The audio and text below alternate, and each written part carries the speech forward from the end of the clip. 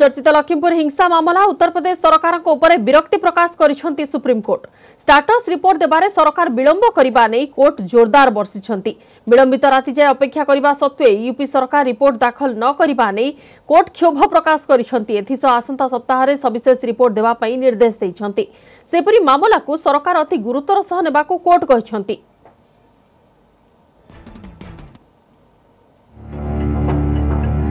ବହୁଚର୍ଚ୍ଚିତ ଲକ୍ଷ୍ମୀପୁର ଖେରି ହିଂସା ମାମଲାରେ ଉତ୍ତରପ୍ରଦେଶ ସରକାରଙ୍କୁ ସୁପ୍ରିମକୋର୍ଟଙ୍କ ଭର୍ସନା।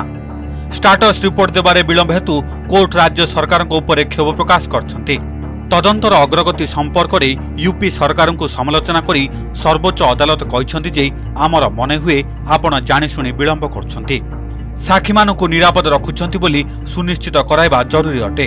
କୋର୍ଟ ମଙ୍ଗଳବାର ବିଳମ୍ବିତ ରାତି ପର୍ଯ୍ୟନ୍ତ ଅପେକ୍ଷା କରିବା ସତ୍ତ୍ୱେ ଷ୍ଟାଟସ୍ ରିପୋର୍ଟ ଦାଖଲ ନ ହେବାରୁ ୟୁପି ସରକାରଙ୍କ ଉପରେ ବିରକ୍ତି ପ୍ରକାଶ କରିଛନ୍ତି ସୁପ୍ରିମକୋର୍ଟ ପ୍ରଧାନ ବିଚାରପତି justice N V Ramana justice Suryakant ଏବଂ ଜଷ୍ଟିସ୍ ହିମା କୋହଲିଙ୍କ ତିନିଜଣିଆ ଖଣ୍ଡପୀଠ ମାମଲାର ଶୁଣାଣି କରି ଏହା କହିଛନ୍ତି।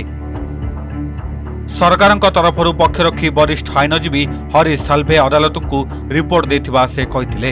ଏହାର ପ୍ରତ୍ୟୁତ୍ତର ଦେଇ ପ୍ରଧାନ ବିଚାରପତି କହିଛନ୍ତି ଯେ ଶୁଣାଣିର କେହି ମୁହୂର୍ତ୍ତ ଆଗରୁ ଯଦି ଆପଣ ରିପୋର୍ଟ ଫାଇଲ୍ କରିବେ ଆମେ ତାହାକୁ ପଢ଼ିବୁ କେମିତି? ଶୁଣାଣିର ଅନ୍ତତଃ ଦିନକ ପୂର୍ବରୁ ରିପୋର୍ଟ ଫାଇଲ୍ ହେବା କଥା। ରିପୋର୍ଟ ବନ୍ଦ ଲଫାଫାରେ ଦାଖଲ କରିବା ନେଇ କୋର୍ଟ କେବେ ହେଲେ କହିନାହାନ୍ତି ଏହାସହ ଆସନ୍ତା ସପ୍ତାହରେ ସଦ୍ୟତମ ଷ୍ଟାଟସ୍ ରିପୋର୍ଟ ଦାଖଲ କରିବା ପାଇଁ ସୁପ୍ରିମକୋର୍ଟ ଉତ୍ତରପ୍ରଦେଶ ସରକାରଙ୍କୁ ନିର୍ଦ୍ଦେଶ ଦେଇଛନ୍ତି। କୋର୍ଟ ହିଂସା ମାମଲା ବିଷୟରେ ପଚାରି କହିଛନ୍ତି ଯେ ଚଉରାଳିଶ ଜଣ ସାକ୍ଷୀଙ୍କୁ ପଚରାଉଚରା କରିଥିବା କଥା ସରକାର କହୁଛନ୍ତି। ଚାରି ଜଣ ସାକ୍ଷୀ ଶହେ ଚଉଷଠି ବୟାନ ଦେଇଛନ୍ତି। ଅନ୍ୟମାନେ କାହିଁକି ବୟାନ ଦେଇନାହାନ୍ତି ବୋଲି ପ୍ରଶ୍ନ କରିଛନ୍ତି ସର୍ବୋଚ୍ଚ ନ୍ୟାୟାଳୟ। ଏପର୍ଯ୍ୟନ୍ତ ଲକ୍ଷ୍ମୀପୁର ଖେରି ମାମଲାରେ କେତେ ଜଣଙ୍କୁ ଗିରଫ କରାଯାଇଛି ବୋଲି କୋର୍ଟ ପଚାରିଛନ୍ତି। କୋର୍ଟଙ୍କ ଏଭଳି ପ୍ରଶ୍ନର ଉତ୍ତର ଦେଇ ସାଲ୍ଭେ କହିଛନ୍ତି ଯେ ଏପର୍ଯ୍ୟନ୍ତ ପୋଲିସ ଦଶ ଜଣଙ୍କୁ ଗିରଫ କରିଛି। ଦୁଇଟି ଅପରାଧ ଘଟିଛି। ଗୋଟିଏ ହେଉଛି ଜନତାଙ୍କ ଉପରେ କାର୍ ଚଢ଼ିଯିବା ଏବଂ ଦ୍ୱିତୀୟଟି ହେଉଛି କାର୍ରେ ଥିବା ଦୁଇ ଜଣଙ୍କୁ ପିଟି ପିଟି ହତ୍ୟା କରାଯିବା। ସେହି ଘଟଣା ସମୟରେ ବ୍ୟାପକ ଜନଗହଳି ଥିବାରୁ ତଦନ୍ତରେ କଷ୍ଟ ହେଉଥିବା ସାଲ୍ଭେ କହିଛନ୍ତି। ତେଣୁ ଏହାର ଉତ୍ତର ରଖିବାକୁ ଯାଇ କୋର୍ଟ ତୁରନ୍ତ ଅନ୍ୟ ସାକ୍ଷୀମାନଙ୍କ ଶହେ ଚଉଷଠି ବୟାନ ରେକର୍ଡ କରିବା ସହ ମାମଲାକୁ ଗୁରୁତର ସହ ନେବାକୁ ୟୁପି ସରକାରଙ୍କୁ ନିର୍ଦ୍ଦେଶ ଦେଇଛନ୍ତି। ଆସନ୍ତା ଛବିଶ ତାରିଖରେ ମାମଲାର ପରବର୍ତ୍ତୀ ଶୁଣାଣି ହେବ। ହିଂସା ଘଟିଲା ଲୋକଙ୍କ ଜୀବନ ବି ଗଲା। ଏହାପରେ ପଲିଟିକାଲ ଟେବୁଲରେ ମାମଲାକୁ ନେଇ ରୁଟି ସେକା ବି ହେଲା। ଏହି ମାମଲାରେ କେତେକ ଦୋଷୀ ଗିରଫ ହୋଇଛନ୍ତି।